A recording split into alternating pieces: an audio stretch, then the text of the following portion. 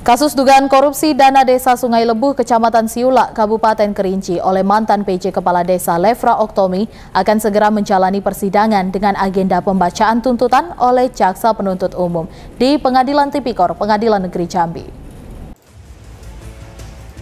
Lefra Oktomi, mantan PJ Kepala Desa, terdakwa kasus dugaan korupsi dana desa Sungai Lebuh, Kecamatan Siula, Kabupaten Kerinci, akan segera menjalani persidangan dengan agenda pembacaan tuntutan oleh penuntut umum Kejari Sungai Penuh di Pengadilan Tipikor Pengadilan Negeri Jambi pada 20 Desember 2022.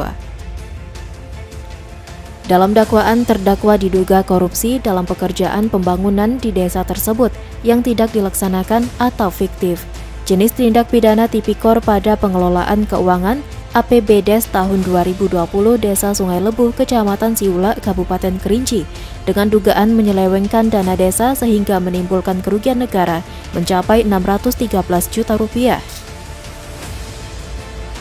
Terdakwa disangkakan pasal 2 ayat 1 dan pasal 3 ayat 1 Undang-Undang Nomor 31 Tahun 1999 tentang Pemberantasan Tindak Pidana Korupsi Junto Undang-Undang Nomor 20 Tahun 2001 tentang perubahan atas Undang-Undang Nomor 31 Tahun 1999. Iqbal, JEK TV, melaporkan.